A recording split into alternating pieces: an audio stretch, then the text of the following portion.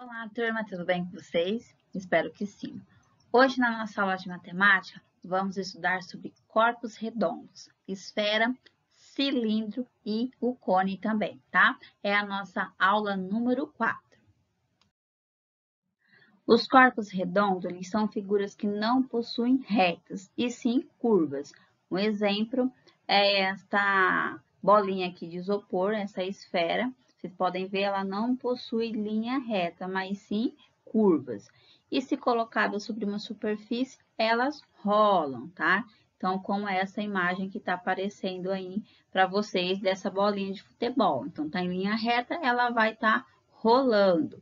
Se eu colocar, por exemplo, essa esfera, essa bolinha de isopor aqui sobre uma linha reta, ela também vai sair rolando. E aqui na aula de hoje a professora trouxe três exemplos de corpos redondos. Por exemplo, o cilindro, este marrom, o cone, este em vermelho, e a esfera, tá? Esses são alguns exemplos de corpos redondos mais comuns. Podemos encontrar, por exemplo, o cilindro em objetos do nosso dia a dia, como por exemplo aqui o botijão de gás e também as latinhas de refrigerante. Se a gente colocar eles em linha reta, eles vão rolar, tá? E o cilindro, desculpa, e o cone, a gente também pode estar encontrando, por exemplo, naqueles chapéuzinhos de festa de aniversário, no qual a gente coloca sobre a cabeça, ou também é na casquinha de sorvete. Então, se vocês repararem, tem o formato de um cone também.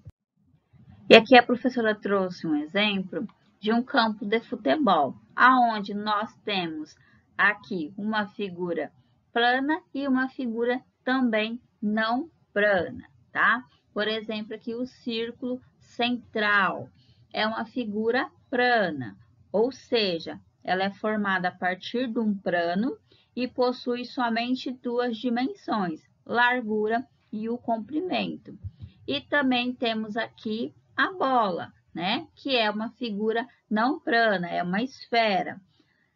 As figuras não planas, vocês têm que sempre lembrar, elas são formadas por três dimensões. Ela tem comprimento, altura e largura, tá?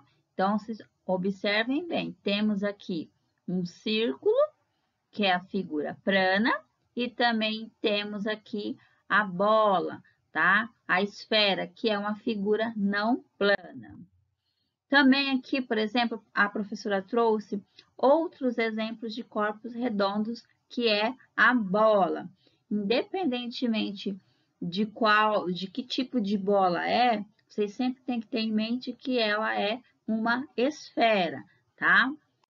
As bolas, elas podem variar em diversas características, como, por exemplo, a cor pode ser diferente, o material pode ser diferente também, o tamanho delas podem ser diferentes de uma para outra.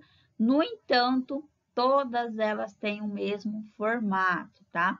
Todas elas representam o mesmo sólido geométrico que é a esfera. Aqui temos o exemplo da bola de basquete, de voleibol, de tênis, de futebol e de boliche também mas todas elas, independente do seu formato, ela é uma esfera, ok?